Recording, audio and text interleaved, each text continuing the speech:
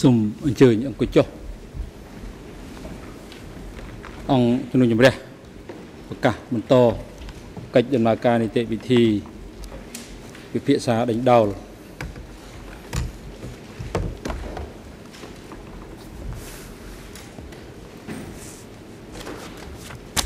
ដើមម្ដងរដ្ឋបវិនីឈ្មោះចិនមេតត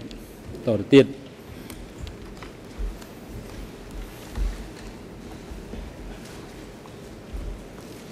ចិនមេតហើយឃើញ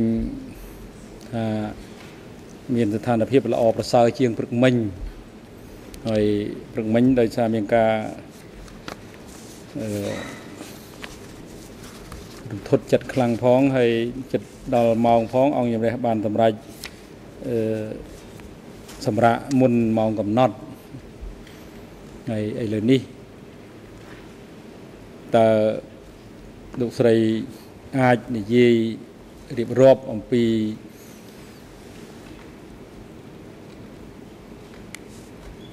ហេតុការណ៍នានាដែលលោកស្រីបានជួបប្រទះជាបន្តទៀតនៅក្នុងជីវិតរបស់លោកស្រីដែលបានរស់នៅក្នុងរបបកម្ពុជាប្រជាធិបតេយ្យនោះរហូតដល់ពេលលោកស្រីបានវិលមកក្នុងជីវភាពស្ថានភាពធម្មតាឡើងវិញ នឹងលោកស្រីចាប់បន្តពីព្រឹកមិញ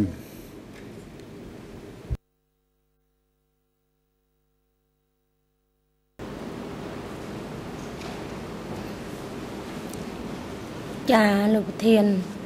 អឺនៅពេលចូលឆ្នាំ1978អឺនៅក្នុងកង17នាងខ្ញុំនឹងអឺគេបានចាត់តាំងឲ្យទៅធ្វើស្រែធ្វើស្រែនឹងយើងដើរធ្វើគ្រប់ កន្លែងទាំងអស់តាំងពីវត្តកពើហាវត្តអើយវត្តស្លែងវត្តច្រើនវត្តណានាងខ្ញុំស្គាល់មិនអស់ទេចាពេលនោះអើយពួកកងនាងខ្ញុំនឹងគឺត្រៀមសម្រាប់ប្រដាប់ប្រដាធ្វើស្រែនឹងមានចប់មានបគី មានឈើច្រានដងរែកសម្រែកសម្រាប់លេខរែកកណ្ដាប់មុនពេលដែលធ្វើដំណើរទៅ ចេញទៅធ្វើការអើយពេលសម្រាប់យើងសម្រាប់ម៉ោង5ម៉ោង6ជួនសម្រាប់ធ្វើការខ្លាំងទៅម៉ោង9ដល់ម៉ោង10ហើយពេលដែលក្រោកតែម៉ោង2 2កន្លះឡើងមេដាស់ប្រធានកងដាស់ឲ្យហៅអូហៅតាមក្រុមនីមួយមួយឲ្យក្រោកឡើងដើម្បីលុបមុខរៀបចំសម្ភារៈសម្រាប់ ធ្វើពលកម្មហ្នឹងអឺតាមក្រុមនីមួយមួយគឺត្រៀមតម្រង់ជួរតាមគេជួនត្រឹមក្រុមគេផ្សេងទៀតជុំគ្នាយើងអង្គុយចាំគេលើកចង្ងូកម្នាក់ម្នាក់ចាហើយជួនពេលយប់ណាថ្ងៃណានឹងនៅក្នុងកន្លែងក្រុមនីមួយមួយនឹងនៅតាមផ្ទះនឹងគេមានបាត់បាត់ដូចជាបាត់ផ្លែខ្នងបាត់ផ្លែចេកឬផ្លែលហុងទុំអីអើយ បងប្រធាននារីនៅគ្រប់គ្រងនឹងគាត់ដើរថើបមាត់យើងនារីនារីទាំងអស់គ្រប់ក្រុមតែមកគាត់ដើរថើបដើរហិតមាត់យើងបើសិនជាអ្នកណាម្នាក់មានក្លិនក្លិនផ្លែឈើនឹងគេនឹងយកទៅយើងគេអត់ដឹងយកទៅណាទេគេថាយកទៅអប់រំបាត់ខ្លួនទៅហើយពួកខ្ញុំដែលនៅធ្វើការនឹងខំធ្វើការ ចេញដំណើរបើចេញដំណើរម៉ោង3ដល់បើជាកន្លែងឆ្ងាយឆ្ងាយដល់ទល់ម៉ោង4ម៉ោង5បានដល់កន្លែងធ្វើការខ្លះដើងូកធ្លាក់ទឹកបន្លាយ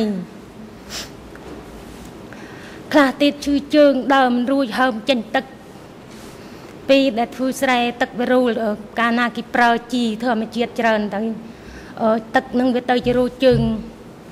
មិត្តនារីយើងទាំងអស់គ្នានឹងមិត្តនារីខ្លះហើមជើងឡើងប្រេះចេញទឹកចេញឈាម ទៅអត់រួចគេវាយបង្ខំហើយបើចំពោះខ្លួននឹងខ្ញុំវិញ នៅក្នុងក្រុមនឹងខ្ញុំខ្លះទៀតកោតចៃចេញពីក្នុងខ្លួនហ្មងអើយល្មើសទាំងណាអេះទៅចេញចៃមកមកហើយនឹងខ្ញុំវិញនៅក្នុងកន្លែងនឹងរយៈពេលអឺកន្លះឆ្នាំ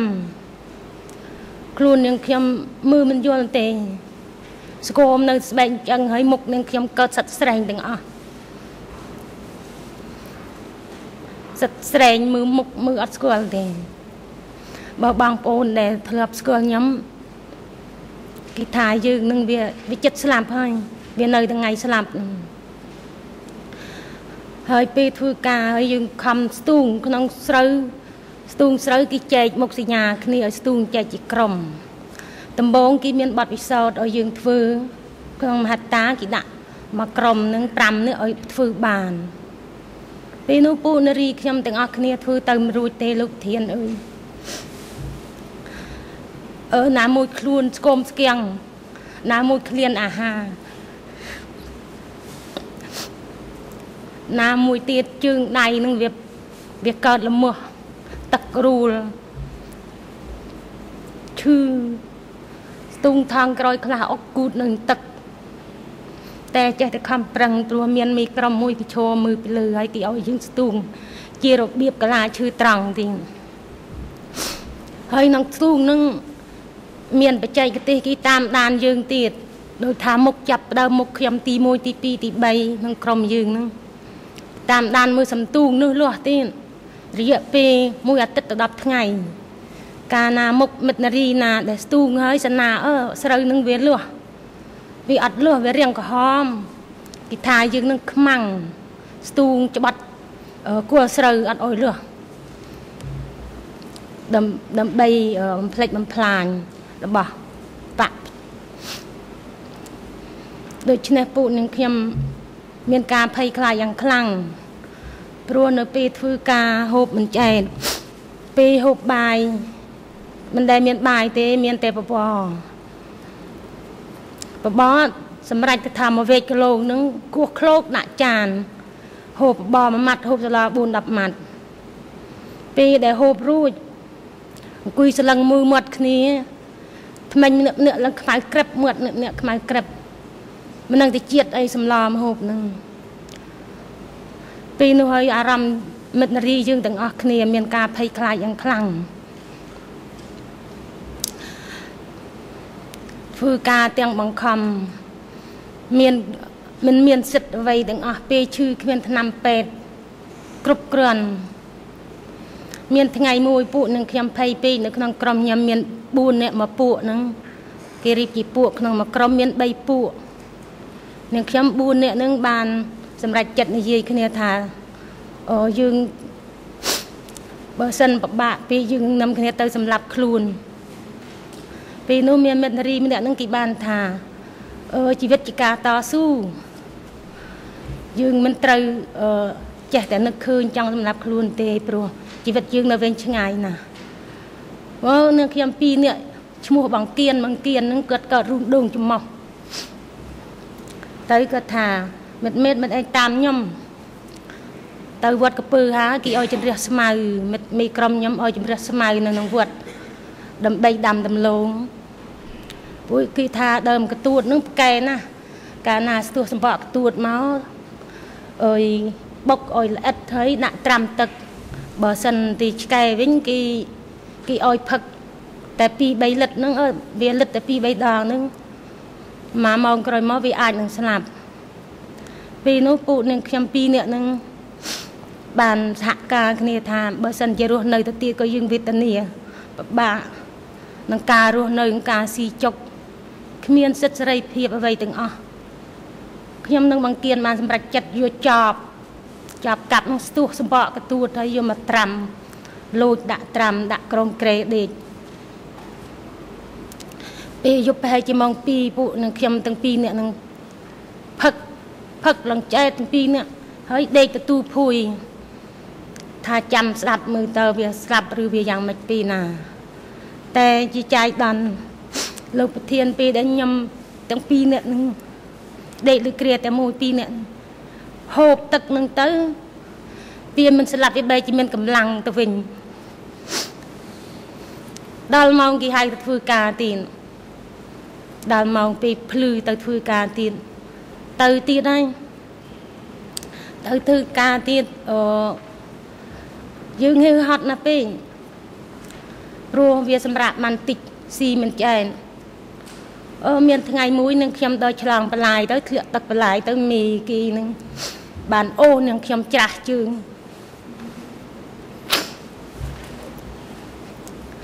អូនឹងខ្ញុំច្រាស់ជើងពីទឹកបន្លាយមកខ្ញុំដាក់លីបន្លាយឲ្យបាន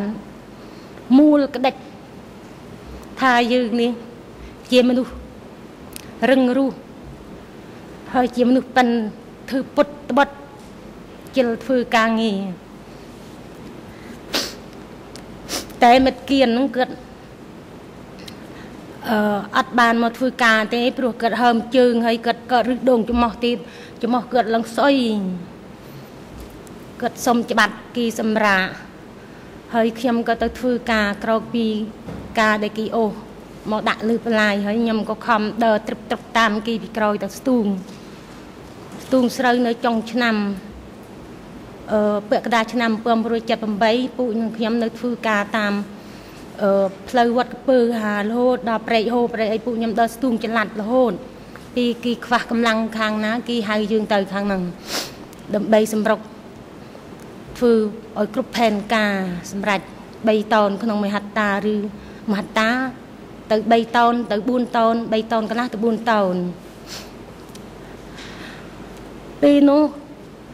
អឺនាងខ្ញុំមកផ្ទះវិញ ពីដល់ម៉ោងសម្រាប់មកផ្ទះវិញមកដល់បាត់បង្គៀនអត់ឃើញគាត់ថាសុំច្បាប់គេឈឺសម្រាប់បាត់បង្គៀនទៀតអត់ឃើញខ្ញុំក៏មានសួរគេទេអឺមានបងស្រីមួយហ្នឹងគាត់នៅក្នុងក្រុមនឹងពួកខ្ញុំហ្នឹងគាត់ថាមិត្តមិត្តមិត្តគៀនអើយឃើញបងស្រីម្នាក់ហ្នឹងគេយកទៅបាត់ហើយថាយកទៅព្យាបាលជំងឺគាត់ព្រោះជើងគាត់ រងរលួយប្រេះចេញទឹកចេញខ្ទុះនេះខ្ញុំក៏មិនមត់មិនស្ដីអីទេព្រោះខ្ញុំក៏វាចិត្តងាប់ដែរហ្នឹងដល់ក្រោយមកទៀតនៅចុងឆ្នាំនៅខ្ញុំអត់ចាំខែដល់ខែប្រហែលនេះតែខែរដូវស្រូវផើមហើយស្រូវហាលកាបែកខ្លះហាលកាខ្លះអឺរៀងអោនគ្រាប់មីមី គេឲ្យនឹងខ្ញុំទៅលើកបន្លាយជីកទំនប់លើកទំនប់ជីកបន្លាយទៀតមកក្រុមនាងខ្ញុំទៅទាំងអស់គ្នានឹងសត្វពួកថ្មីអ្នកចាស់បាត់ហើយមកពួកថ្មីនៅចាស់3អ្នកខ្ញុំតែប្រហែលអ្នកទៀតខ្ញុំអត់ស្គាល់ឈ្មោះគ្រាន់ស្គាល់មុខគ្នាហើយទៅលើកទំនប់ជីកបន្លាយខ្ញុំចាំបានថាអឺជីកប្រឡាយលើកទំនប់នឹងនៅស្ពានព្រែកជ្រៃយើងសប្ថ្ងៃនឹងធ្វើអាងទឹកពេលនោះ អឺប្រធានកងគេបានដាក់មីក្រូមួយបោះបកគូយ៉ាងខ្ពស់ដាក់មីក្រូហើយពួកមិត្តយុវជនយុនារីគ្រប់កងអង្គភាពទាំងអស់មកសម្រុកលើកទំនុកជីកបន្លាយនឹងតែខ្ញុំជាអកុសលខ្ញុំវាវាទៅមួយរួចការរេកដីបើគេអោយគ្រាន់តែជោគដីដាក់បគីខ្ញុំទៅរួចដល់រេកដីឡើងទំនប់ខ្ញុំទៅអត់រួចព្រោះជើងខ្ញុំវាហើមហើយវា ប្រេះចេញទឹកខ្លាំងពេកខ្ញុំទៅអត់រួចខ្ញុំរៀកដីខ្ញុំដួលខ្ញុំរៀកដីខ្ញុំដួលទៅមេកងខ្ញុំថាមេតមានអីយ៉ាងម៉េចខ្ញុំថាបងអើយខ្ញុំទៅមិនរួចទេបើបងអីចង់ធ្វើម៉េចខ្ញុំធ្វើទៅខ្ញុំទៅមិនរួចទៀតទេរៀកបានតែប្រហែលជាម៉ោង10គាត់ក៏បានរុញច្រានខ្ញុំទៅនៅក្បែរអឺភ្លឺស្រែហ្នឹង ខ្ញុំថាបងខ្ញុំសុំសម្រាប់បន្តិចមកព្រោះខ្ញុំទៅអរុទីទេបើសិនបងចង់ធ្វើម៉េចធ្វើទៅគេអត់មើលទេគេថាមិត្តឯងត្រូវតែប្រឹងបំប្រឹងទេប្រយ័ត្នបាត់ខ្លួន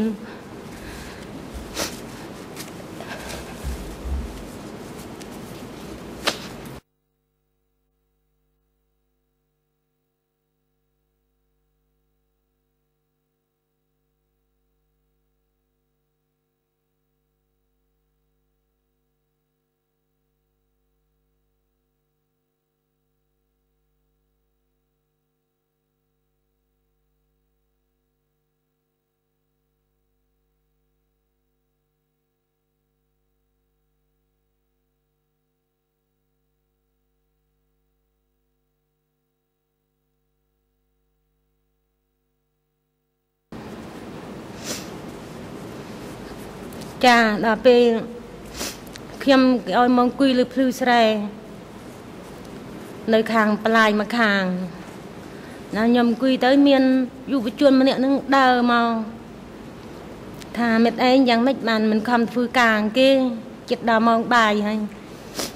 ខ្ញុំថាបើអើយខ្ញុំទៅមិនរួចទេខ្ញុំសុំសម្រាប់ហើយមានមិត្តនារីម្នាក់ទៀតមួយទៀតទៅមិនរួចដែរគេអូសមកដាក់ក្បែរខ្ញុំហ្នឹង អូដាក់ក្បែរខ្ញុំហ្នឹងគួយទាំងអស់គ្នាហ្នឹងក្បងត្បងក្បាលឆ្គងឬភ្លឺស្រែហ្នឹងមើលមុខគ្នា ទៅមិនរួចវាក្បាលថាឲ្យខ្ញុំធ្វើអីក៏ធ្វើដែរខ្ញុំរិចដីទៅមិនរួចទេទៅយុវជននឹងដើមមកគេដាក់យើងភុះភុះគេមានអាណិតស្នះយើងទេវាយយើងទៅពួកខ្ញុំពីរនាក់នឹងភ័យពេក ថាបើគេសម្លាប់សម្លាប់អីហើយទៅកុំឲ្យពិបាករស់នៅតទៅទៀតគេគ្រាន់តែដាក់ភុះទៅគេដល់ហូទៅទៀតទៅខ្ញុំភ័យពេកខ្ញុំសម្លាប់នៅនឹងភ្លឺស្រែនឹងត្មង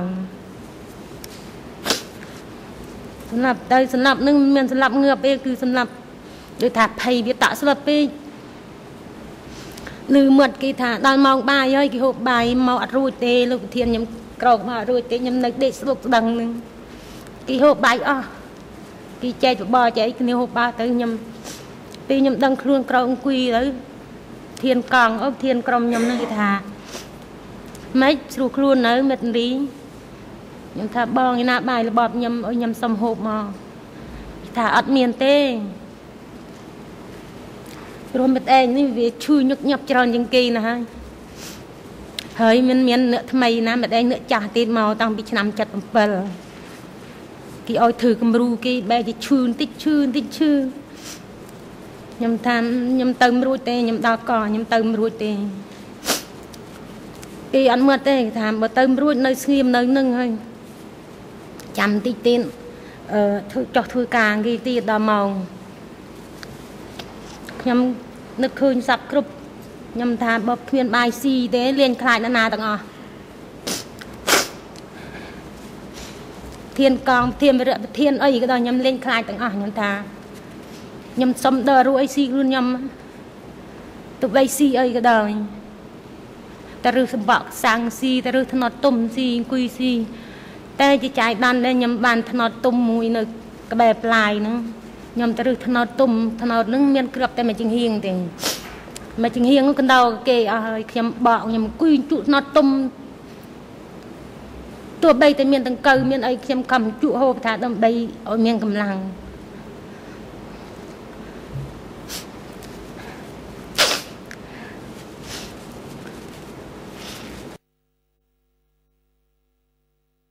នៅពេលនឹងគេចោះធ្វើការព្រឹបព្រឹបគេរាជដីមីក្រូគេចាក់បាត់ចម្រៀងបដិវត្តនឹងពួកមិត្តនឹងព្រឹបព្រឹបអីអានេះខ្ញុំ ពេលគេឃើញខ្ញុំនៅហូបថ្នត់ទុំគេអត់មើលទេគេដើរនឹងណាមិត្តឯងប្រឹងប្រយ័ត្នខ្លួនខ្ញុំថាដំណាក់កាលនេះហើយខ្ញុំលេងខ្លាចងើបហើយបងអើយគេឲ្យខ្ញុំលូនលូនកាត់តនុបឡើងពីបន្លាយមកលើតនុបចុះពីទំនប់ចោចូលប្លាយហើយបានឲ្យខ្ញុំស្រែកថា សូមមិត្តនារីទាំងអស់គ្នាកុំធ្វើតម្រាប់តាមខ្ញុំ ព្រោះខ្ញុំនេះជាមនុស្សធ្វើការមិនកើតមនុស្សខ្ជិលធ្វើការខ្ញុំសុចិត្តលូនតិចតិចខ្ញុំស្រែក5គេអញ្ចឹងហើយពួកមិត្តនឹងឈរមើលខ្ញុំទាំងអស់គ្នាខ្លះខ្លះលីចប់ខ្លះរែកបង្គីខ្លះរែកដីឡើងទៅនប់ហើយឈរមើលខ្ញុំមួយមួយគវីក្បាលតែរៀងយើងទាំងអស់គ្នានឹងមានតែស្បែកដណ្ដប់ឆ្អឹងទេម្នាក់ម្នាក់នោះដល់នោះខ្ញុំឈប់លូន លូនអស់កម្លាំងទៅមួយរួចខ្ញុំសម្លាប់ទៀតហើយខ្ញុំសម្លាប់ទៀតខ្ញុំដឹងថាខ្ញុំច្បាស់ជាស្នាប់ហើយពីនេះអត់ដល់ងាយទេព្រោះថ្ងៃនឹងជ្រេឃ្លានបាយខ្ញុំនៅភ្លឺស្រែនឹងខ្ញុំតរឹសអាថ្នោតដែលខ្ញុំហូបពីថ្ងៃហ្នឹងខ្ញុំរើសជក់ហូបទៅអឺពូមិត្តគីសម្រាប់គីសម្រាប់ ដល់ទៅពេលខ្ញុំនៅភ្លឺស្រែនឹងខ្ញុំគួយហូបថ្នោតខ្ញុំថាខ្ញុំអត់ខ្លាចណាទាំងអស់ខ្ញុំលេងខ្លាចហើយបើស្លាប់ក៏ស្លាប់ចាស់ព្រោះអ្នកដែលមកទាំងអស់គ្នាជាមួយខ្ញុំមកវាបាត់មុខអស់លីងនៅខ្ញុំអ្នកឃើញមកលើកខែទី1ខែទី2ជារៀងរាល់ខែជារៀងរាល់សប្តាហ៍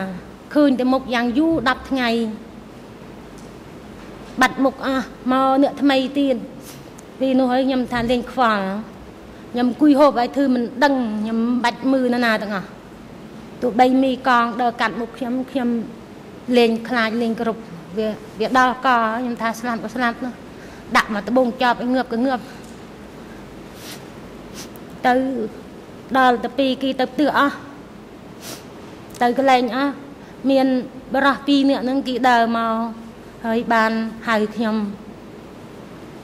មកដល់ទៀនថ្នត់ទុំនឹងពីដៃខ្ញុំក្វិត ចូលទឹកបន្លាយក្ដុងថាមិនហើយមិនរីទៅដល់ទិសអន់ខ្ញុំថាខ្ញុំទៅមិនរួចទេខ្ញុំសុខចិត្តលូននៅងើបនេះងើបចាខ្ញុំទៅមិនរួចទេបងអើយជើងខ្ញុំប្រេះចេញទឹកទឹកវាស៊ីក្នុងរយៈច្វែកជើងច្វែកមីជើងខ្ញុំមកលួយកូនជើងខ្ញុំមកលួយនៅទៅគាត់ថាមកទៅជាមួយគាត់គាត់នឹងនាំទៅ ដឹកដៃខ្ញុំលើកដៃខ្ញុំឡើងប៉ុនអូសទៅតាមភ្លឺស្រានឹងស្រែនឹងទីណាត់ទីណែងទៅខ្ញុំទៅនឹងគេពេលនោះគេអត់យកកង់អើយអត់យកខ្ញុំទៅនៅក្រុមខ្ញុំទៅកង់ខ្ញុំចាស់ទេគេយកខ្ញុំទៅដាក់កន្លែងផ្សេងទៀតពូពូពីរនាក់នឹងគាត់យកទៅដាក់អត់ដឹងកន្លែងណានេះខ្ញុំចេញពីកន្លែងកង់17ទៅ ដល់ទៅដល់កន្លែងហ្នឹងជាកន្លែងគេដាំបន្លែងខ្ញុំនៅនឹងមានបងស្រីស្រីកាលណាខ្ញុំនៅក្មេងដែរបងស្រីស្រីនឹងចំណាស់ខ្ញុំសប្ថ្ងៃហ្នឹងគេមកទូខ្ញុំឲ្យគេឲ្យខ្ញុំមុជទឹកផ្លាស់អាវផ្លាស់សម្ពួតហើយគេឲ្យបាយហូបហូបទៅថាមិត្តនារីឯងហូបឲ្យឆ្អែតទៅអានធ្វើការខ្ញុំធ្វើការអីថ្ងៃល្ងាចណាស់ទៅហើយ ថ្ងៃណាមិត្តនារីយើងនឹងសម្រុកខំធ្វើទំនប់ខ្ញុំនិយាយសារឡើងវិញអឺឲ្យរួចមុនផែនការលោកវិធានអើយក្នុងបន្លាយនឹងក្បែរមាត់អាងមាត់បន្លាយគេនឹងគេឲ្យចាក់ឲ្យបំពេញបើធ្វើមុខរួចមុនផែនការនឹងបានសម្រាប់ពុកមេនារីយើងទាំងអស់គ្នានឹងគេខំសម្រុកធ្វើរួចមុនផែនការគេបានសម្រាប់ពីម៉ោង3កន្លះប្រហែលជាម៉ោង3កន្លះហ្នឹងថ្ងៃនៅពោះដែរគេសម្រាប់អស់ទៅនៅខ្ញុំនឹងដល់ខ្ញុំ សំមិនយានឹងយាមកដល់កន្លែងខ្ញុំមកដល់កន្លែងច្ដាំបន្លែបងស្រី3 4នាក់ហ្នឹងគេឲ្យខ្ញុំហូបចែកហើយគេក៏នាំខ្ញុំទៅកូនរូងមួយគេប្រាប់មានក្របតឡាយក្របលពៅក្របប្រសក់អឺក្របសណ្ដែកហើយមានស្បៃមានកណាត់ស្បៃមានអីគេក៏គេប្រាប់ពីរបៀបបន្តោសគេឲ្យយើងលាងស្អាតហើយយកមកដាក់នឹងកណាត់នឹង បន្តោសក្របនឹងហើយបង្កប់នឹងដីខ្សាច់ខ្ញុំទៅធ្វើតាមគេព្រឹកឡើងបងបងនឹងឲ្យខ្ញុំរៀបទឹកចាក់ទឹកតំណាំឡើងពីមាត់ទលេមកលើមាត់ទលេមាត់ស្ទឹងខ្ញុំមាត់ស្ទឹងមាត់ទលេនេះខ្ញុំចាំបានទេរឿងនៅលើកោះដល់ខ្ញុំនៅបានរយៈប្រហែលជា4 5ថ្ងៃបានខ្ញុំឮគេនិយាយថានៅស្រុកស្អាងកោះធំគេថានៅកោះធំកោះធំ ខ្ញុំនៅដាំផ្លែនឹងបានប្រហែលជា3ខែខ្ញុំបានហូបឆ្អែតអឺដេកបានពេញភ្នែកហើយក្រោយមកទៀតដាំបន្លែបានកើតលោកធានខ្ញុំដាំបន្លែកន្លែងខ្ញុំនឹងដាំពីរក្តោបអឺត្រីថាវសណ្ដែកគួរលពៅតឡាចមានគ្រប់មុខពេលដល់ផ្លែប្រមូលផលឡានគេចូលដឹកពុមិត្តចូលប្រមូលដឹកដាក់កូនឡាន ដឹកវាទៅបាត់អស់ទៅក្រោយមកទីពូខ្ញុំដាក់ដាំម្ដងទៀតខ្ញុំដាំបន្លែហើយពីថ្ងៃគេអត់ឲ្យតនីទេឲ្យខ្ញុំទៅបាញ់កាទីទៀតបាញ់កាទីថ្នោតហើយលងក្រោយមកពួកយើងទឹមដាំបន្តោសក្របបានប្រហែលជាអឺបន្លែប្រហែលជាបាន មានដោះស្លឹកដោះអីបានលឺសំឡេង គេថាយួនចូលដល់ភ្នំពេញហើយពេលនោះអឺលឺផ្ទុះក្របនៅទីក្រុងលឺទូក្របនៅទីក្រុងភ្នំពេញហ្នឹងបងស្រីស្រី នៅជាមួយខ្ញុំថាមេតមេតរៀបចំអីវ៉ាន់ទៅយើងនៅមិនបានទេត្រូវតែចេញពីទីនេះរៀបចំសាក់ដោសាក់អីរៀងខ្លួននៅគេយកទូកឆ្លងមកត្រូវមកខាងអឺយប់យប់ផែជាម៉ោង7 ម៉ោង7គេថារត់ក្រោះយួនមកហើយនោះភ្លើងរត់ក្រោះគ្រាប់ចេះទៅមករត់ពួកខ្ញុំរត់កាត់មិនដឹងឯណាយប់តែពីពីដែលយើងរត់កាត់នោះស្រូវទុំទំពេញស្រែរត់កាត់ចាក់បដ ாய் ទៅជើងវិញចេះរត់ទាំងយប់ទាំងថ្ងៃខ្លះដួលជន់គ្នាជន់គ្នានឹងរត់នឹង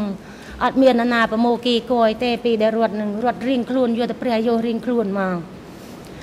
ពេលរត់ទៅដល់យប់នឹងអ្នកដេកតាមចង្ការលឹក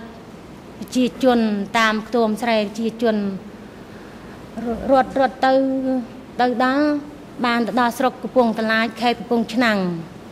គេហៅស្រុកកំពង់តឡាចខេត្តកំពង់ឆ្នាំងដល់មានវត្តគេមួយអឺមានបងយុវជនជាប្រធានកងហ្នឹងគាត់កាន់មីក្រូមួយហើយប្រកាសប្រកាសថាអឺមិត្តនារីមិត្តយុវជនទាំងអស់គ្នាដែលយើងបាន រត់មកបែកបាក់ដាច់កងដាច់អង្គភាពយើងនឹងប្រមូលគ្នាឲ្យបានច្រើនជួបជុំគ្នាវិញហើយរៀបជាក្រុមរៀបជាក្រុមរៀបឲ្យមានកងមានក្រុមហើយយើងនឹងចាប់ផ្ដើមប្រមូលផលនៅស្រុកកំពង់តឡាចហ្នឹងស្រូវគីទុំខ្លះស្រូវលឹងដោះសាទុំទៅពូខ្ញុំគេឲ្យទៅជូនស្រូវតាមឃ្លាំងក្រុមខ្ញុំបានអត់បាន10នាក់ទេបានតែ7នាក់ អត់ស្គាល់គ្នាសោះទៅជួបគ្នានៅកន្លែងស្រុកកំពង់តឡាចនឹងគេរៀបនឹងអ្នកទាំងជូនស្រូវអឺមនុស្សឲ្យបានមួយបេក្នុងមួយថ្ងៃឲ្យបាន5ជើងអមមួយព្រឹកឲ្យបាន5ជើងយកមកដាក់ក្នុងឃ្លាំងនៅក្បែរស្រុកកំពង់តឡាចហ្នឹងមានឃ្លាំងទីមួយដល់ផុតពីជូនប្រមូលផលស្រូវជូនសណ្ដែកដីជូនសណ្ដែកដីដាក់ឃ្លាំងចុះពីជូនសណ្ដែកដីដាក់ឃ្លាំង រៀបចំជាក្រុមហើយឲ្យយើងជូនកិនស្រូវកិនកកិនស្រូវក៏ជាងកដាក់ច្រកបេច្រកអីអូនជូនឡើងទៅព្រៃដាក់ទុកដាក់នៅតាមព្រៃមានមានរោងមានឃ្លាំងគេនៅក្នុងព្រៃនឹងចូលទៅជ្រៅជ្រៅហើយជូនដាក់ពីនោះពូកងទ័ពវៀតណាមកាលណាអត់ហៅវៀតណាមមិនហៅយួនយួនឡើងមកដល់ពូមិត្តប្រាប់ថាយួនជិះមកដល់ហើយមកយើងរត់បន្តទៅទៀត ពូមិត្តខ្ញុំគ្នាអឺ7នាក់ហ្នឹងយើងបានចាប់ដៃគ្នាថាសុំស្គាល់គ្នាធ្វើជាបងប្អូនអឺយើងទៅទាំងណាទៅទាំងអស់គ្នាពូខ្ញុំនៅជាមួយគ្នារហូតដល់រត់កាត់ស្រុកកំពង់តឡាយទៅទៀតអត់បានធ្វើទឹកទៀតនឹងគេទៀតទេនារីខ្លះគេបញ្ចូលនឹងកង តែពួកខ្ញុំគិចអត់រត់ទេខ្ញុំរត់អស់អត់ចូលកងគេខ្ញុំរត់រហូត រត់ទៅពេលដែលរត់ទៅលឺឡានលឺសំឡេងរថយន្តហើយនឹងគេប្រកាសមីក្រូថាអឺបងប្អូនដែលបានរត់បែកបាក់កងអង្គភាពទៅអីសូមបងប្អូនមកចូលរួមជាមួយយើងវិញកងទ័ពយើងរំដោះប្រជាជនស្រោចស្រង់ប្រជាជនឲ្យរស់រានមានជីវិតអឺពេលនោះមានឡានគេទៅផុតចេះទៅពួកខ្ញុំហ្នឹង ជុំគ្នានៅក្រោមដើមឈើមួយឯងបានជំនុំគ្នាថាតើយើងគួរទៅមុខឬក៏ទៅក្រោយវិញមានបងយុវជនម្នាក់ហ្នឹងគាត់ថា យើងមិនអាចទៅក្រោយវិញទេព្រោះយើងខ្លាចថាយូនកាលណាវាចូលមកវាចាប់មិនថានារីថាបរោះទេវាចាប់ហើយវាដាំដាំក្បាលដាំដាក់ក្បាលយើងជុំគ្នាជា3មុំទៅដាំទឹកទឹកតែដាំទឹកក្តៅវាសម្រាប់ផឹកនឹងហើយគេនិយាយមួយទៀតថា កាលណាយូនចាំនារីនារីបនិវត្តបាននឹងវារំលោភរំលោភរួចហើយវាអាកងធៀងថ្នោតពេលនោះពួកខ្ញុំភ័យខ្លាចខ្លាំងអត់ហ៊ានទេការរំលោភពួកយើងមិនដែលជួបប្រទេសយើងខ្លាចយើងចេះទៅទៀតហ្នឹងតាមមួយខ្លាចគេអាកងធៀងថ្នោតនឹងស្មើណាងើបខំតស៊ូតាំងពីនៅព្រៃសររស់រៀនមានជីវិតរត់មកដល់កន្លែងនេះទៅមិនអោយនរណាអាកស្រួលស្រួលទេនេះចេះតែរត់ទៅ រត់ទៅជួបគ្នា ខ្លះមានកូនខ្លះមានប្តីហើយយួនចេះដេញតាម ឡើងភ្នំទីណាត់ទីណែងគ្រប់ច្រកឡោទាំងអស់ខ្លះងើបខ្លះរស់ខ្លះងើបអង្គុយខ្លះងើបក្នុងរឹងដល់ពាក់កណ្ដាលឆ្នាំ79ហ្នឹងពួកនាងខ្ញុំឡើងដល់ភ្នំអូរ៉ាល់មានមីកងមួយនឹមដល់ភ្នំអូរ៉ាល់ពេលនោះខ្ញុំឈឺអត់ដាច់អស់អង្គក្រុមខ្ញុំ7នាក់នឹងអស់អង្គអស់ អំបិលអស់អីហូបហើយនៅនេះជីកក្ដួចត្រាំធ្វើក្ដួចហូបហូបក្ដួចធ្វើមិនល្អពលក្ដួចនឹងចិត្តងាប់ម្នាក់ម្នាក់ទៀតអស់អត់ហ៊ានហូបក្ដួចនៅនេះទៅជីកតំពាំងយកមកត្រាំហូបតំពាំងស្លឹកព្រិចហើយពូទើបវៀតណាមពូយើងនៅនឹងជើងភ្នំទើបឡើងព្រុព្រុទៅពូយើងពូនៅក្លៀនក្លៀនភ្នំតែអត់ អត់ឃើញយើងទេគ្រាន់តែពូខ្ញុំថាអូគុណបនជដូនចតាម៉ែអើយជួយខ្ញុំផងចាស់ទឹកម្ចាស់ដីនៅព្រៃភ្នំនេះជួយខ្ញុំផងដើម្បីមកយូនឃើញយើងពូនគីដល់សឹងជន់យើងតែគេមើលយើងអត់ឃើញណាដល់ពេលក្រោយមកទៀតខ្ញុំធ្លាក់ខ្លួនឈឺធ្លាក់ខ្លួនឈឺហើយពួកមិត្តទាំងអស់នឹងគេមកប្រមូលថាអ្នកណាដែលបានឡើងមកដល់ជើងភ្នំរ៉ាល់ហើយគេប្រមូលទៅដើមដីឆ្លងដែន ខ្ញុំថាខ្ញុំទៅមិនរួចទេបងខ្ញុំចាប់ដើមឈឺទៅហើយគ្រុនចាញ់ផងហើយខ្ញុំឈឺជើងផងបងអីទៅណាទៅទៅទុកទីដេកេះហើយនឹងឆ្លាំងបាយខ្ញុំមួយបានហើយគេទុកឲ្យខ្ញុំនៅតាមចន្រុំនៅតាមរោងគេនឹងព្រីដើមសិតដើមអាស័យខ្ញុំរស់ក្នុងទំពាំងរស់លឹកព្រិចខ្ញុំហូបនៅនឹងអូនឹងមានទឹកជ្រោះមួយនៅអឺ ពីរអ្នកកុមារម្នាក់កុមារនឹងទូចអាយុប្រហែលជា7ឆ្នាំហើយនឹងពូពូពីរនាក់ទៀតគាត់លបួសលបួសក្បាលហើយគាត់មានឆ្នាំងមានកំបិតមានអីយើងនៅជាមួយគ្នានឹងដល់កងទើបគេមកប្រមូលមកពលឺមកគេមកប្រមូលយើងទៅទៀតគេថានៅមិនបានទេមិត្តនារីទៅនៅយូរបំមិនដឹងជាយួនចាប់មិនដឹងទេសัตว์ខ្លាសត្វតម្រៃវាខាំឯព្រោះនៅព្រៃភ្នំនេះសម្បូរសត្វសាហាវណាខ្ញុំទៅមើលថាទៅគេអត់ បង្ខំអីទេស្រាញ់យើងស្ម័គ្រចិត្តទៅ ដើរបន្តិចបន្តិចទៅតាមគេពេលទៅនៅដល់កន្លែងគេមានមិត្តរីយុវជនច្រើនគេថាជាជំរំរបស់កងទ័ពខ្ញុំនៅនោះបានមិនដឹងជាប្រហែលខែនេះខ្ញុំចាំបានអឺខ្ញុំភ័យខ្លាចពេកជាបាជាជាបាជើងគេមើលជើងមើលអីខ្ញុំជាឲ្យឲ្យលាបថ្នាំលាបអីជាឲ្យគេថាយើងនឹងទៅមុខទៀត ពេលនោះខ្ញុំនឹកឃើញថាបើសិនជាទៅមុខទៀតខ្ញុំមិនដឹងជាទៅដល់ណាទេនេះខ្ញុំបានលួចគិចខ្លួន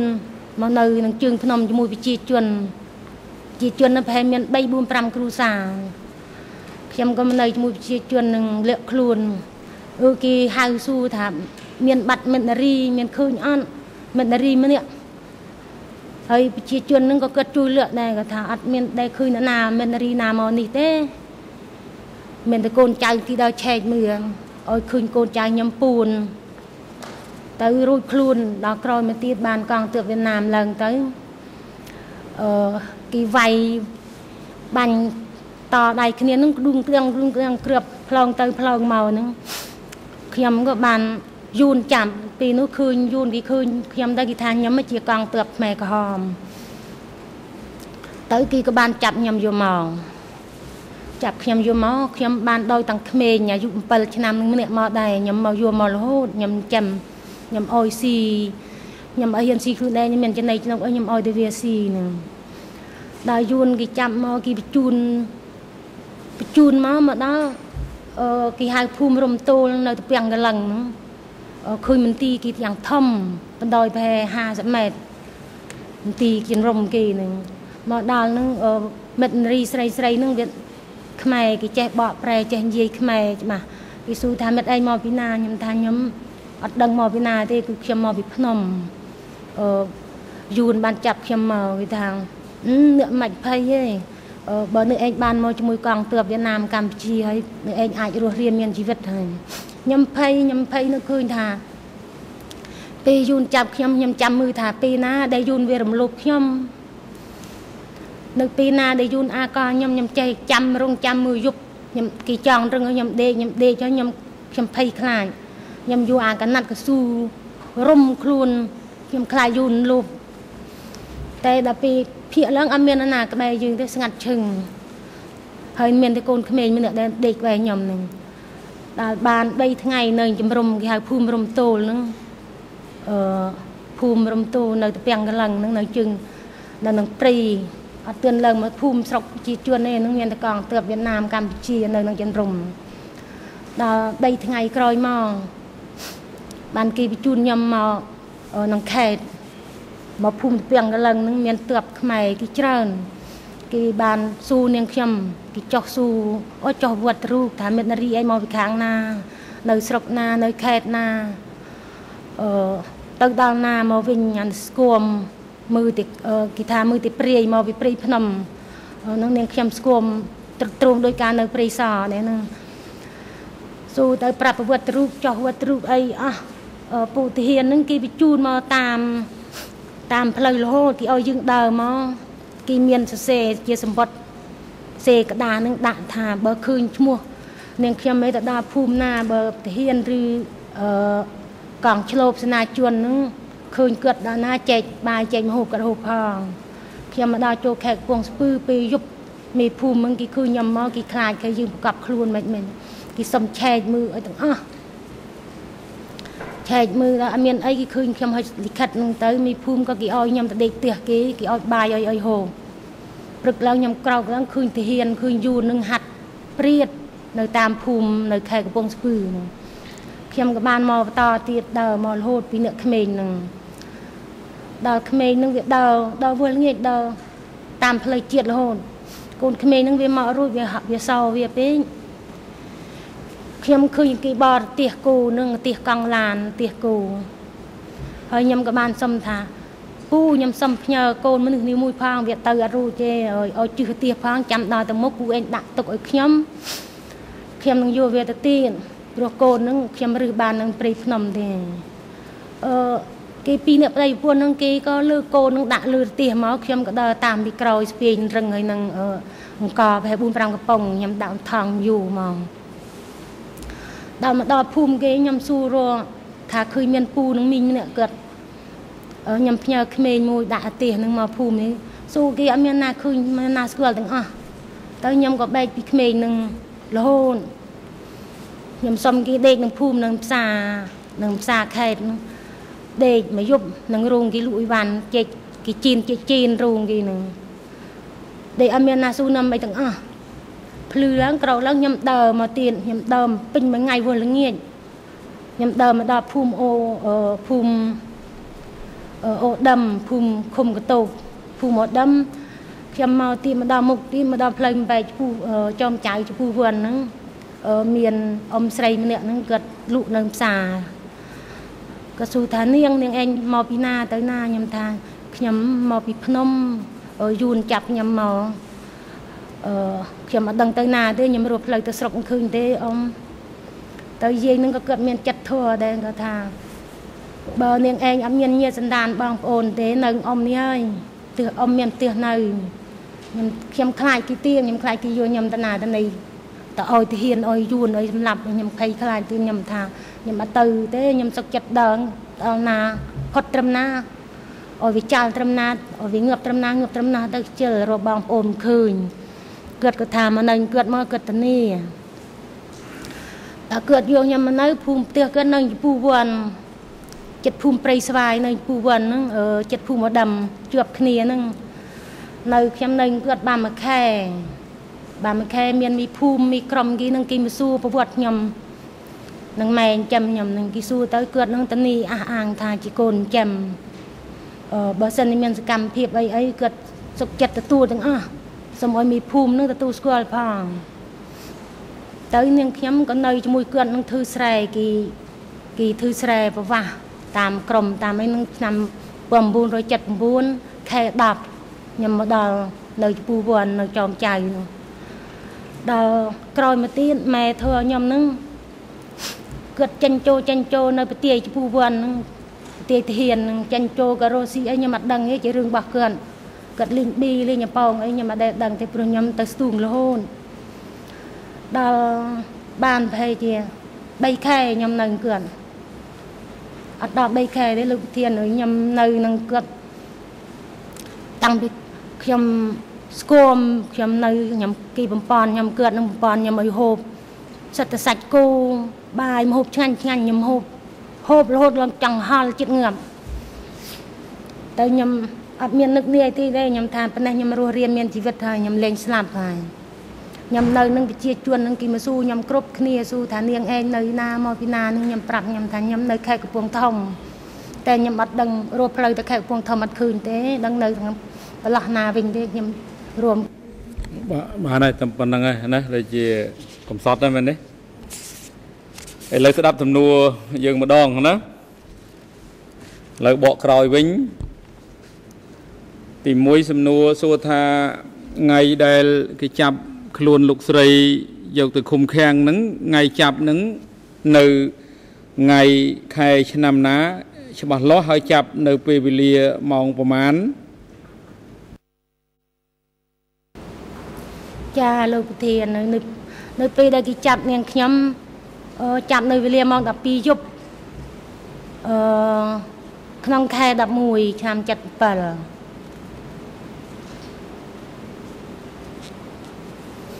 ចាំថ្ងៃដែរទេថ្ងៃ10លោកប្រធាន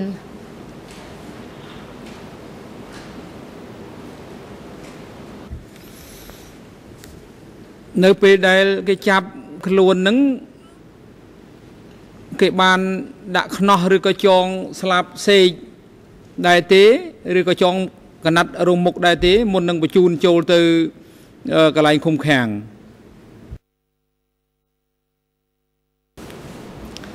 ចានៅពេលដែលគេចាប់នាងខ្ញុំ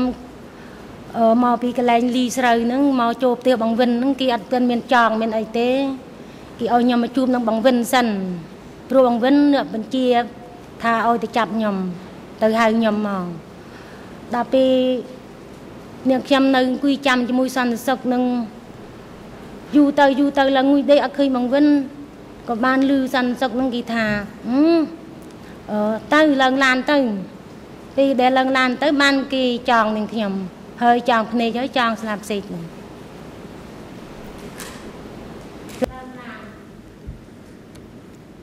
ហើយគេបញ្ជូនមកដាក់ឡាន បញ្ជូនមកកន្លែងឃុំឃាំងអញ្ចឹងមែនទេ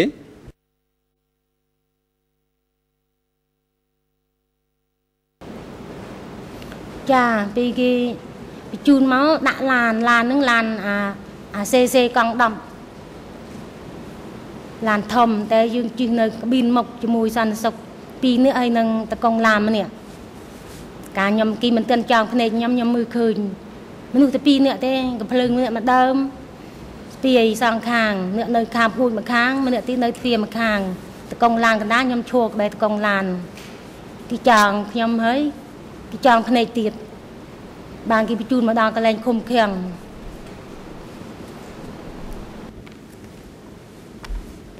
មកដល់ឃុំកន្លែងឃុំឃាំងហ្នឹងមុននឹងចូលទៅកន្លែងឃុំឃាំងហ្នឹងតើគេបានប្រព្រឹត្តយ៉ាងម៉េចគេធ្វើយ៉ាងម៉េចចំពោះលោកស្រីដែរទេ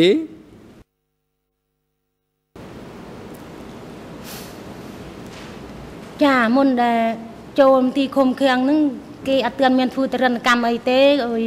គេបានបដើខ្ញុំមកប្រហែលជាដើរប្រហែលជា10នាទីជាងបើដើរមកសន្ទុះធំដែរបានមកដល់កតុបពេលដល់បន្ទប់ហើយគេក៏បើកទ្វាររុញច្រានខ្ញុំចូលបន្ទប់មកគេស្រាយគេស្រាយតែមុខទេតែចំណងដៃនៅចង់ជួបស្រាយទៅមុខទេពេលដែលខ្ញុំចូលទៅដល់ក្នុងបន្ទប់ហ្នឹងបានខ្ញុំឈ្ងោកអើទៅឃើញមិត្តមិត្តនារីមិត្តយ៉ាតនិងមិត្តមឿនហ្នឹង នៅកងជាមួយខ្ញុំដែរតែគេនៅខាងធ្វើស្រែនៅខាងទូលគោកនៅអង្គុយក្នុងបន្ទប់នេះគេចង់តែភ្នែកអត់ចង់ទេបើកមើលឃើញស្គាល់គ្នាលោកស្រីមកដល់កន្លែងឃុំឃាំងហ្នឹងនៅវេលាម៉ោងប្រហែលប៉ុន្មានតែ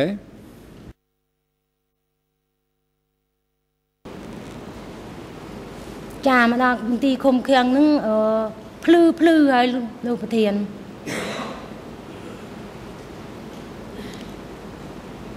ភ្លឺច្បាស់ហើយនៅឬក៏ទៅភ្លឺព្រៀងព្រៀងទេ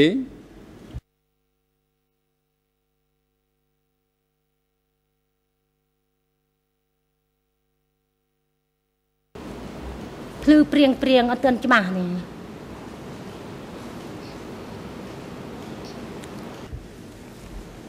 ពេលគេបញ្ជូនមកដល់គេមានធ្វើអ្វីដូចជាការស្រង់នៅជីវប្រវត្តិរបស់លោកស្រី ឬក៏ថតរូបរបស់លោកស្រីដែរទេ មុនពេលបញ្ជូនចូលទៅឃុំខ្លួននោះ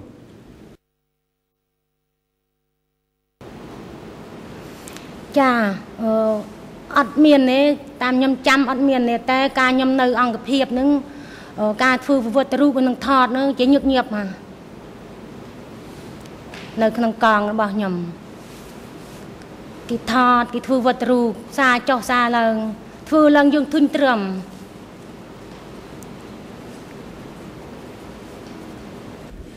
អញ្ចឹងក្នុងអំឡុងពេលដែលលោកស្រី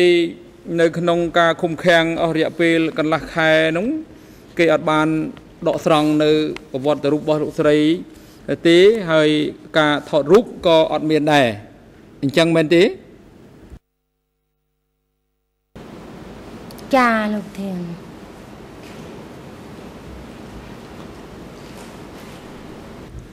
ពេលអំឡុងពេលដែលគេឃុំឃាំងលោកស្រី15ថ្ងៃ15យប់នោះថាសួរថាតើខ្នោះ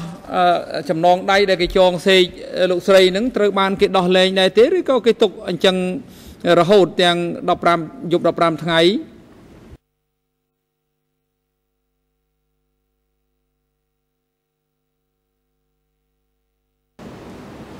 ចាគេចងនាងខ្ញុំរយៈពេល3ថ្ងៃ3យប់ចងជាប់ពេលគេយកទៅសួរគេចងភ្នែកចងដៃពេលសួររួចមកបន្ទប់វិញគេស្រាយភ្នែកហើយឲ្យចូលអង្គុយនៅក្នុងបន្ទប់ធម្មតានៅក្នុងបន្ទប់ដែលគេឃុំឃាំងលោកស្រីនឹង បន្ទប់ធំដែរឬក៏បន្ទប់តូចហើយមានអ្នកឃុំឃាំងជាប់ឃុំឃាំងជាមួយលោកស្រីនឹងប្រហែលអ្នកទៅក្នុងអំឡុងពេលដែលលោកស្រីជាប់ឃុំឃាំងនៅទីនោះចានៅខាងបន្ទប់នឹងអឺបន្ទប់នឹងមិនធំទេល្មមប៉ាន់បើផ្ទះនេះយើងសប្ថ្ងៃប៉ាន់បន្ទប់ជួលគេហើយខ្ញុំចូលទៅ មានមិត្តរីខ្ញុំ2នាក់3នាក់ទាំងខ្ញុំនឹងនៅក្នុងបន្ទប់នឹងអត់មានអ្នកណាទីទេ ហើយបន្ទប់នោះគឺនៅផ្ទាល់ដីឬក៏បន្ទប់នៅជាន់លើទី1ទី2ទី3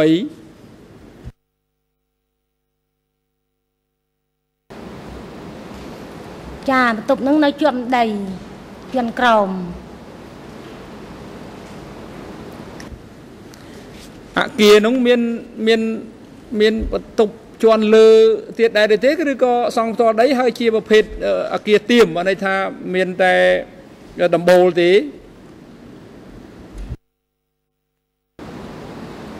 អគារនឹងមានមានជន់ជន់ទៅលើព្រោះខ្ញុំពេលដែលខ្ញុំនៅដេកយប់ស្ដាប់ទៅខ្ញុំឮស្នូសំឡេងស្រែកពីលើខ្ញុំសំឡេងធ្ងោសំឡេងស្រែកពីលើពូខ្ញុំនៅ ហើយពូខ្ញុំ 3នាក់នឹងបាននិយាយគ្នាថាតើកន្លែងនេះជាកន្លែងស្អីគេកន្លែងឃុំឃាំងអីគុកអីគេព្រោះអត់ស្គាល់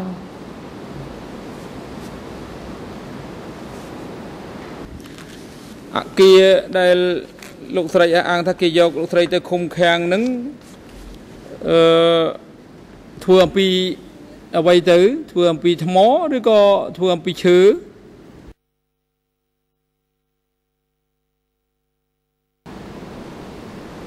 ចាគានឹងធ្វើពីអំពីថ្មហើយមានចាក់ក្រោដាក់ក្រោទៀតហើយបង្អួចមានចម្រឹងដែកបង្អួចពីរមុខមួយក្រោយមួយហើយមានដាក់ចម្រឹងដែកខ្ទើសចិត្ត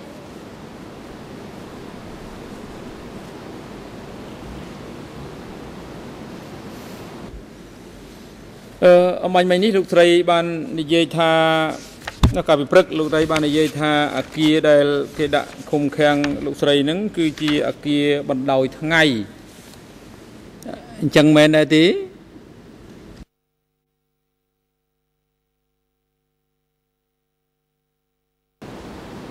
ចាគឺអាគារគឺអាគារបណ្ដោយថ្ងៃហើយនៅក្បែរចន្ទើទៀតលោកស្រីអាចបញ្យល់បានទេមិនហៅថាអាគារសង់បដោយថ្ងៃហ្នឹងវាវាវាយ៉ាងម៉េចស្ថានយ៉ាងម៉េចទៅបានលោកស្រីអះអាងថាអាគារហ្នឹងអាគារបដោយថ្ងៃ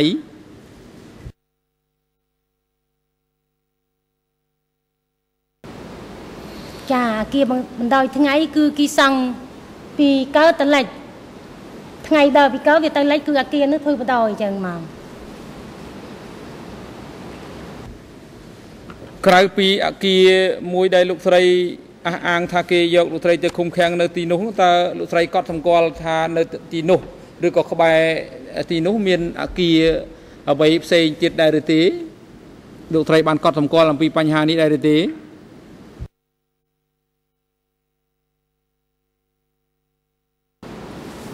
ចាខ្ញុំនៅចាំបានថាអាគារបដ ாய் ថ្ងៃនឹងហើយមានអាគារផ្សេងទៀតហើយនៅក្នុងជុំវិញមន្ទីរឃុំឃាំងហ្នឹងគេ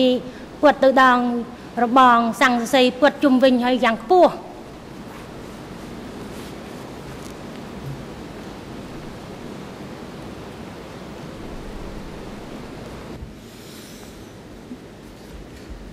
លោកស្រីបានជាប់ឃុំឃាំងនៅទីនោះតើលោកស្រីបានឮដែលឮសំឡេងឬក៏បានកត់សម្គាល់នៅព្រឹត្តិការណ៍ណាមួយថាមានកុមារនៅទីនោះដែរឬទេ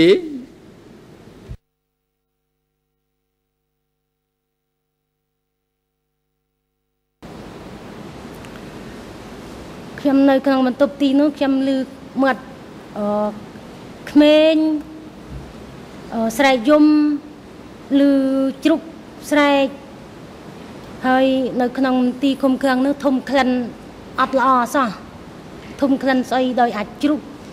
ហើយធំក្លិនដូចកម្រងស្អីអ្វីយ៉ាងដូចយើងថាចាប់មិនបានមិនដឹងជាក្លិនស្អី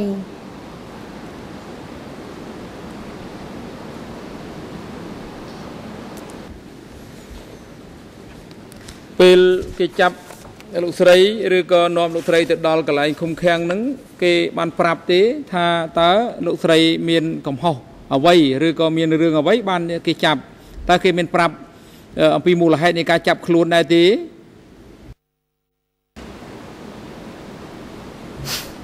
ចាលោកធានគេអត់មានសួរអត់មានប្រាប់ទេ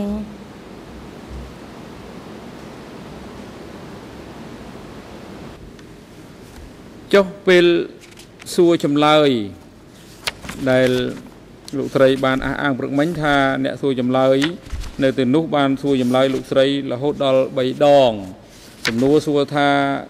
អ្នកដែលសួរចម្លើយលោកស្រីនឹងជាមនុស្សប្រុសឬក៏មនុស្សស្រី ហើយ មានគ្នាប៉ុន្មានអ្នកក្នុងពេលសួរចម្លើយម្ដងម្ដង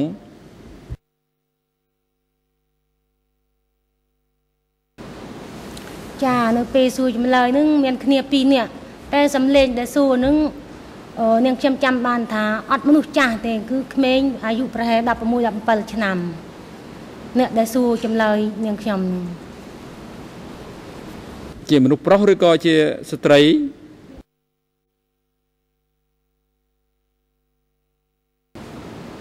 ជាមនុស្សប្រុសលោកធានអត់មានរីទេសួរខ្ញុំ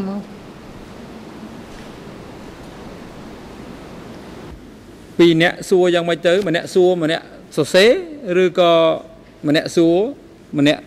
ឈរគម្រាមកំហែងឬក៏ប្រព្រឹត្តធ្វើអំពើអីផ្សេងទៀតចំពោះលោកស្រី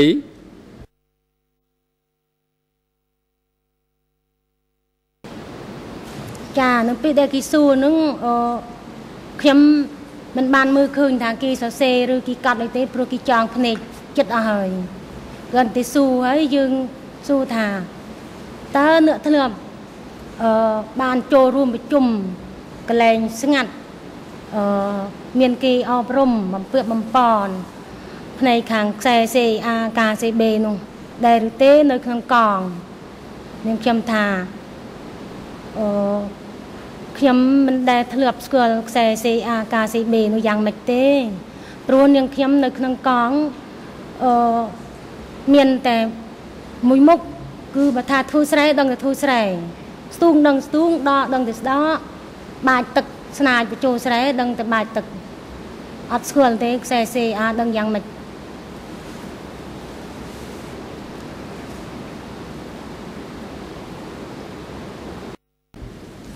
ក្នុងអំឡុងពេលគេសួរចម្លើយលោកស្រីហ្នឹងតើគេបានដាក់ខ្នោះជើងលោកស្រីដែរទេ ចាចំពោះនាងខ្ញុំអត់ដាក់ទេ តែគេចងដៃរឹតយ៉ាងតឹង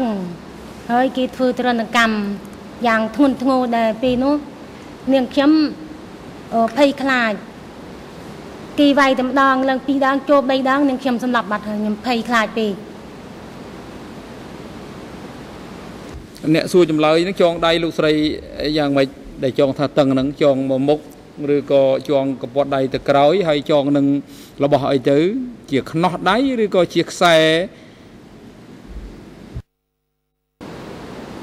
ចាគេចងជាខ្សែខ្សែខ្សែលីឡុងចងទៅក្រោយជាយ៉ាងតឹងមិញលោកស្រីប្រើពាក្យថាគេបានធ្វើទរណកម្មលើលោកស្រីតែមិនបានជាលោកស្រីអះអាងថាគេធ្វើទរណកម្មតើ បុគ្គលិកនៃអ្នកសួរចម្លើយហ្នឹងគេបានប្រព្រឹត្តសកម្មភាពឬអំពើហិង្សាយ៉ាងម៉េចមកលើខ្លួនរាងរូបរាងកាយរបស់លោកស្រី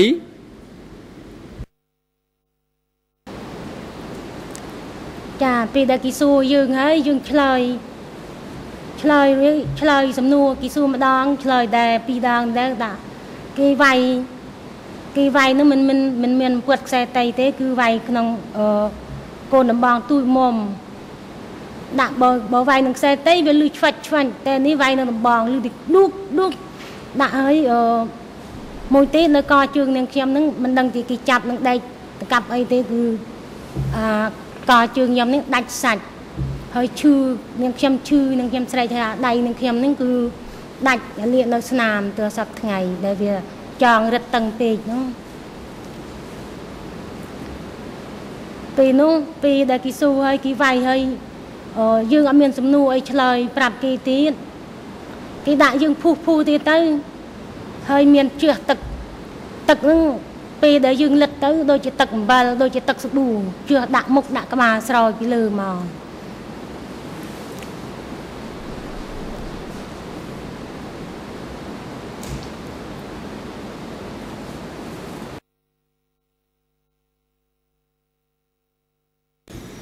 ក្នុងការសួរចម្លើយលោកស្រីម្ដងម្ដងហ្នឹង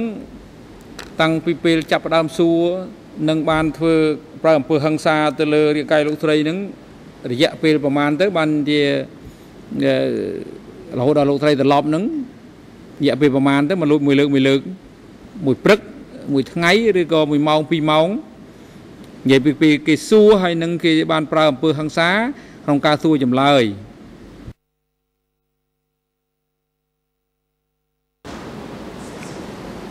ចាគេសួរនឹងគេប្រើទរណកម្មនឹងមិនយូរទេលោកប្រធាន គឺ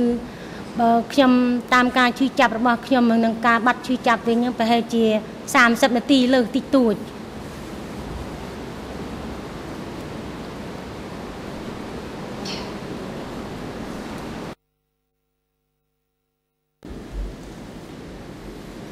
ចុះលោកស្រីសន្លប់នឹងដល់ពេលដឹងខ្លួនវិញ ពេលដែលត្រឡប់ទៅកន្លែងឃុំឃាំងវិញ គេធ្វើយ៉ាងម៉េចគេសែងទៅឬក៏គេបណ្ដើលោកស្រីដូចពេលគេបណ្ដើមកសួរចម្លើយ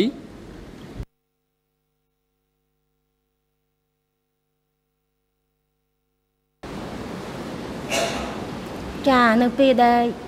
នាងខ្ញុំសម្លាប់ទៅ គឺមិនមានសម្លាប់មិនដឹងស្មារតីទេព្រោះភ័យពេកសម្លាប់ទៅ តែដល់គេថាយកទៅកន្លែងគេក៏ចាប់ស្មាដៃមកខាងអ្នកក្លៀកហ្នឹងគេអូសយើងទៅបោះនឹងកតុបតុកទៅ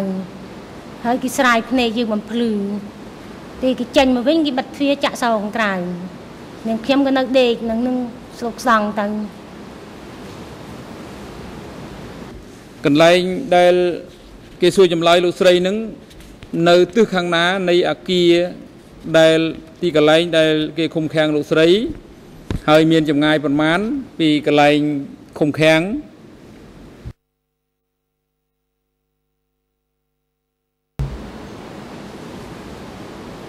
អឺតាមខ្ញុំចំណាំបានដើរសម្រាប់ជើងស្នូជើងអឺដើរទៅទិសខាងជើងហើយមិនឆ្ងាយប៉ុន្មានទេអឺបើយើងដើរវិញ ប្រហែលជាមកសំទុះដែរដល់កន្លែងគេពាក្យមកសន្ទុះនឹងមិននឹងឲ្យនិយមន័យថាម៉េចច្បាស់ទេអញ្ចឹងបើដើរគិតជាជំហានប្រហែលជាប្រហែលជំហានដល់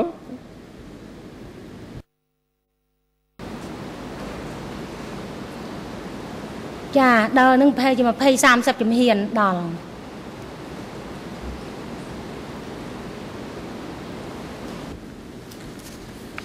ចុះកន្លែងដែល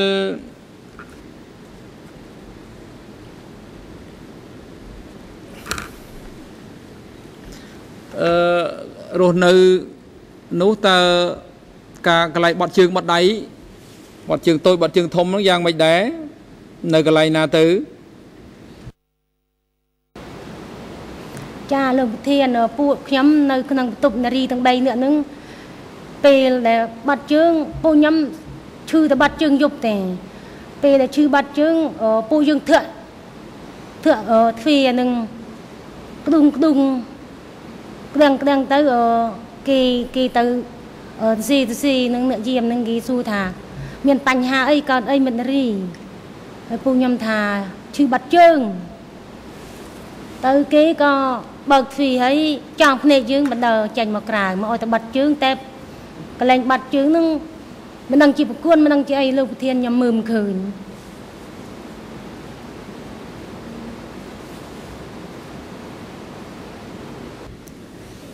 អ្នកយាមនឹងមនុស្សប្រុសឬក៏មនុស្សស្រី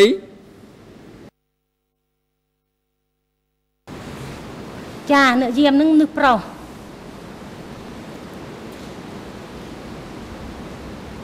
ចុះងូតទឹកគេឲ្យងូតទឹកយ៉ាងម៉េច អឺខ្ញុំទាំង3នាក់នឹងនៅក្នុងមន្ទីរឃុំឃាំង15ថ្ងៃហ្នឹងអឺនាងខ្ញុំអត់ដែលមុជទឹកទេទោះបីគេឲ្យមុជក៏នាងខ្ញុំមិនទៅមុជដែរ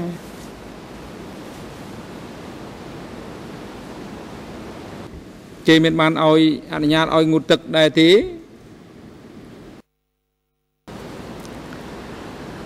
អឺគេហៅមិត្តមឿននិងមិត្តយ៉ាត ឲ្យទៅមុជទឹកដែរតែពីដែលមិត្តមឿនមិត្តយ៉ាតទៅមុជទឹកទៅអឺមិត្តមឿនចាញ់ទៅមុជទឹកមុននៅមកវិញដូចមានអារម្មណ៍អត់ល្អវាថាអើយមិត្តមេតមិត្តចាតបើសិនជាគេហៅទៅមុជទឹកមិនបាច់ទៅគេសុកចិត្តអប់បើងឹបក៏ងឹបទៅបាមុជទឹកក៏ងឹបទៅចាស់មិនបាច់មុជមិនបាច់អីទេគេប្រាប់មូលហេតុអីដែរទេ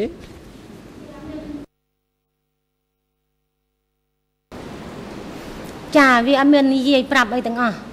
គឺនេះហាមថាបើសិនជាគីឲ្យទៅមុជទឹកមិនបាច់ទៅមុជទេសុខចិត្តនៅក្នុងកន្លែងឃុំឃាំងនេះហើយអញ្ចឹងបានដេកថាលោកស្រីជាមួយនឹងមិត្តភ័ក្តិលោកស្រីពីរនាក់ទៀតក្នុងអំឡេអំឡុងពេលនៃការឃុំឃាំងនោះគេអត់មានហាម5លោកស្រីជាមួយនឹងមិត្តភ័ក្តិរបស់លោកស្រីមិនឲ្យនិយាយគ្នាទេមែនទេព្រោះលោកស្រីនិយាយគ្នាជាច្រើនអំពីបញ្ហាអីផ្សេងផ្សេងអាចទៅចែកគ្នាបានអញ្ចឹងមែនទេ ចាលោកប្រធាននាងខ្ញុំអាចនិយាយគ្នាបាន តែយើងមិនមាននិយាយដោយចំហលឺលឺទេ គឺយើងគ្រាន់តែសម្លឹងគ្នាហើយអាចប្រាប់គ្នាជាសញ្ញាព្រោះខ្លាចគេនៅខាងក្រៅលឺ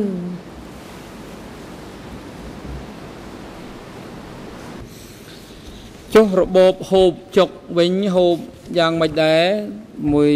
ពេលហ្នឹងប្រហែលដងមួយថ្ងៃប្រហែលពេលហើយមួយពេលពេលហ្នឹងរបបបានហូបបាយឬក៏បបរឬក៏មកហូប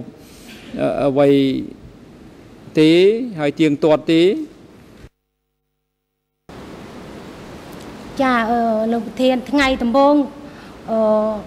នាងខ្ញុំទៅគេឲ្យហូបបបរក្នុងនោះមានការគេការបើយើងនៅសមរភូមិវិញគេហៅការបត់ដាក់នឹងអឺ ចកេះនឹងមានដៃមួយពីហ្នឹងគឺយើងដកដៃកាទៅគេដួសបបដាក់ឲ្យហូបតែពូខ្ញុំហូបអត់កើតទេរយៈពី3ថ្ងៃពូខ្ញុំអត់អាហារហូបអត់កើតគេគេឲ្យហូបមួយថ្ងៃ2ដង តែពូនាងខ្ញុំហូបអត់កើតទេបបហ្នឹងនៅទុកព្រឹកដល់ល្ងាចល្ងាចដល់យប់សុំតែទឹកហូបទេអញ្ចឹងបានស្ដីថារបបដែលគេ ផ្ដល់ឲ្យនឹងក្នុងអំឡុងពេលឃុំឃាំងនឹងគឺពីរពេលហើយមួយពេលគឺមានបបរមួយកាអញ្ចឹងមែនទេ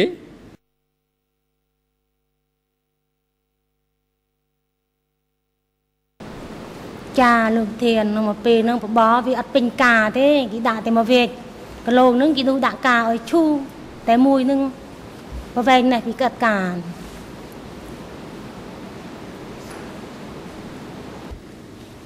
ហើយការហ្នឹងគេមានសព្រាហើយគេយកត្រឡប់ទៅវិញទេពេលហូបរួចហូបរួចនោះឬក៏ការនឹងសព្រានេះគេទុកនៅកន្លែងយើងឃុំខាំងនឹងរហូតដល់ពេលរបបមកដល់យើងយកការដាក់បបរដែលគេចែកឲ្យ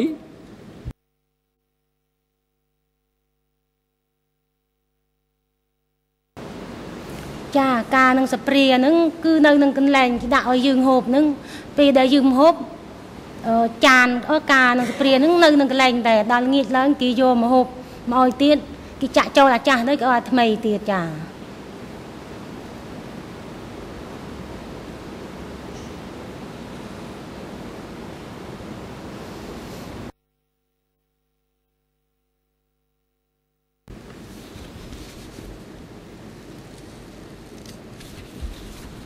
អំបញ្ញមិញនេះគឺលោកស្រីបាននិយាយពាក់ព័ន្ធនឹងការចូលមកដល់កន្លែងឃុំឃាំងហ្នឹងគឺគេដាក់បញ្ចូលឃុំឃាំងតែម្ដងដោយមិនបានថតរូបឬក៏ដកស្រង់នៅប្រវត្តិរូបផ្សេងផ្សេងរបស់លោកស្រីទេប៉ុន្តែនៅក្នុងពាក្យបណ្ដឹងគឺមានឯកសារចំនួន2ដែលពាក់ព័ន្ធជាមួយនឹងឯកសាររបស់លោកស្រីហើយ ចាំលោកស្រីចាំមើលតើឯកសារនេះវាពាក់ព័ន្ធយ៉ាងម៉េចជាមួយនឹងលោកស្រីមន្ត្រីសតួធ្វើការបញ្ចាំងនៅរូបថតដែលមានឯកសារលេខ EON 0034 31 99ជាភាសាខ្មែរនៅលើកញ្ចក់អេត្រង់ទូទស្សន៍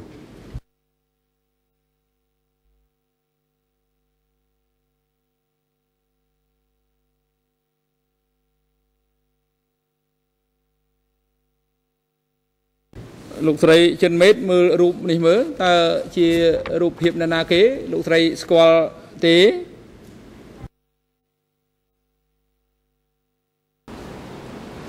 ចា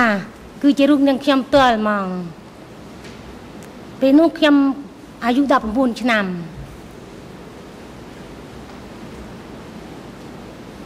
អឺមិនបានជាលោកស្រីដឹងថាលោកស្រីកាលនោះអាយុ19ឆ្នាំតើរូបថតនេះថតនៅក្នុងឆ្នាំណា ចារូបថតនេះថតអឺនៅឆ្នាំ1977ហើយនឹង78ពេលខ្ញុំនៅអង្គភាពក៏គេបានថតខ្ញុំនាងខ្ញុំញឹកញាប់ដែរហើយពេលដែលខ្ញុំទៅនៅមន្ទីរស21ក៏มีក្រុមมีកងខ្ញុំបានហៅខ្ញុំមកធ្វើវត្តរូបហើយគេថតរូបនាងខ្ញុំដែរនៅស21នៅមជ្ឈមណ្ឌលណាទៅដែលគេថាមេកងឲ្យធ្វើប្រវត្តិរូបឲ្យថតរូបនោះ នៅស21ឬក៏នៅព្រៃសរអឺនៅព្រៃសរលោកប្រធាននឹងខ្ញុំនៅកង17ប្រធានកងនឹងឈ្មោះបងញ៉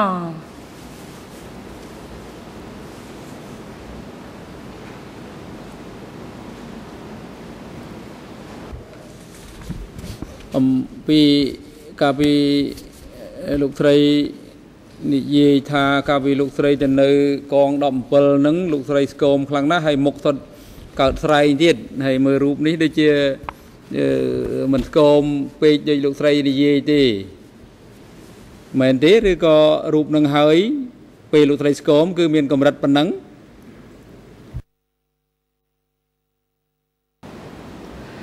ចាពីថតនឹងគឺគេមិនមានពីដែលនាងខ្ញុំទៅដល់កន្លែង កង17ហ្នឹងបងស្រីនឹងរយៈពេល3ថ្ងៃ បាន3ថ្ងៃហ្នឹងគេបានហៅនឹងខ្ញុំមកកលែង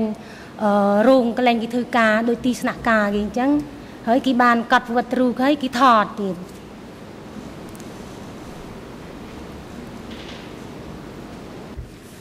មន្ត្រីខាងសោះទោះបន្តទៅ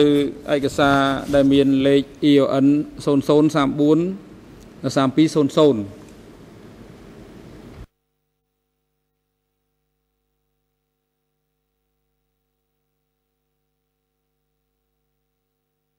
លោកស្រីមើលរូបថតនេះតើរូបថតអ្នកណាគេរូបថតលោកស្រីឬនឹងប្រវត្តិរូបផងតើជារបស់អ្នកណាគេ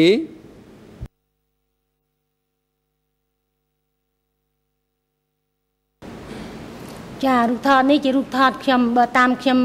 ចាំបានការធ្វើវត្តរូបនេះធ្វើនៅអង្គភាពចាស់ធ្វើនៅកន្លែងកងពល3 450 កងពលទី3កង450នាងខ្ញុំនឹងហើយ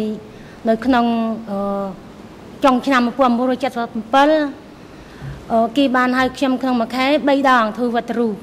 ហើយថតរូបទៀតហើយគេស៊ូដោយប្រវត្តិរូបនៅក្នុងស៊ូពីភូមិកំណើតស្រុកខេត្តក្រុងហើយនឹងមុខរបរឪពុកម្ដាយនឹង ឪពុកម្ដាយរស់ឬស្លាប់មុខរបរការដែលខ្ញុំនាងខ្ញុំចូលបម្រើបដិវត្តនឹងនាងខ្ញុំដាក់វត្តរូបខ្ញុំកសិករក្រ តែពីដែលគេតាមដានវត្តរូបនាងខ្ញុំទៅគេទៅដល់ផ្ទះនាងខ្ញុំគេបានស៊ើបប្រជាជននិងបងប្អូននៅនឹងគេថាវាជាកូនបលិសសេពចិនសេពចិននឹងគាត់នៅធ្វើការ នៅភ្នំពេញគាត់មិនដែលមកនៅស្រុកទេ តែកូននឹងគឺរស់ដោយសារជីដូនចិញ្ចឹមទេអត់មានពាក់ព័ន្ធនៅជាមួយឪពុកទេ តែឪពុកនឹងផ្ដល់ជាសម្ភារៈជាលុយកាក់មកចិញ្ចឹមកូននឹងទៅបានជាគីដាក់ខ្ញុំថាវណ្ណៈកសិករកណ្ដាលថ្នាក់កណ្ដាលទៅវិញ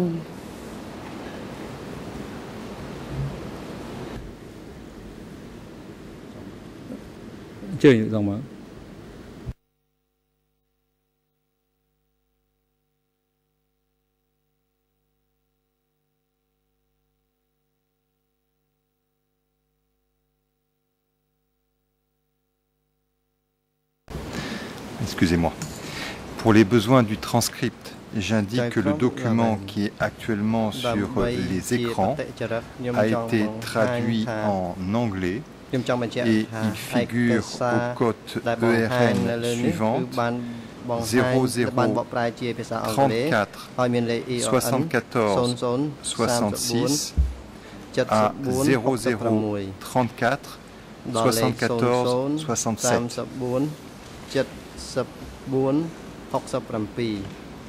Donc il s'agit de la traduction de la biographie qui figure à la cote E2 bar 80 bar 4.2. មានលេខ E2 /80 /4.2